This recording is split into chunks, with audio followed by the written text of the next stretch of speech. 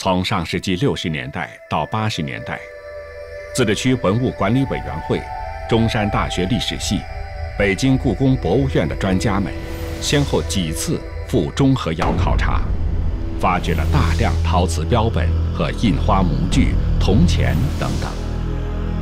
考古人员推断，中和窑烧造年代应在北宋中期至南宋晚期，持续大约有二百多年。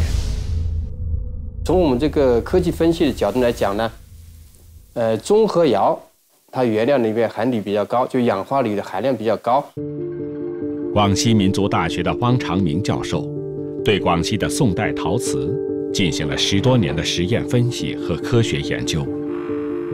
大量实验的数据显示，中和窑是采用窑址附近白色细腻的瓷土矿作为制瓷原料。优质的瓷土矿使中和窑瓷胎更加洁白坚硬，高温下也不易变形。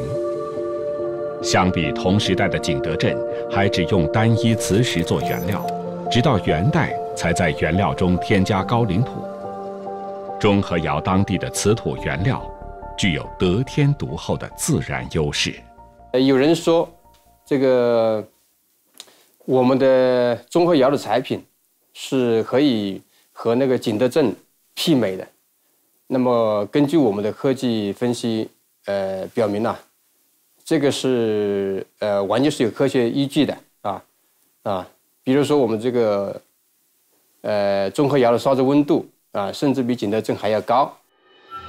实验测试中，中和窑青白瓷胎质的吸水率，大部分都在百分之零点三。到百分之一点六九，不仅远胜于同时期永福窑、盐官窑等广西其他窑厂产品，也十分接近于当时景德镇德化窑等名窑青白瓷器百分之一的吸水率。那么这是一个什么概念呢？呃，也就是说啊，呃，我们中和窑，它这个吸水率是呃达到了呃或者接近。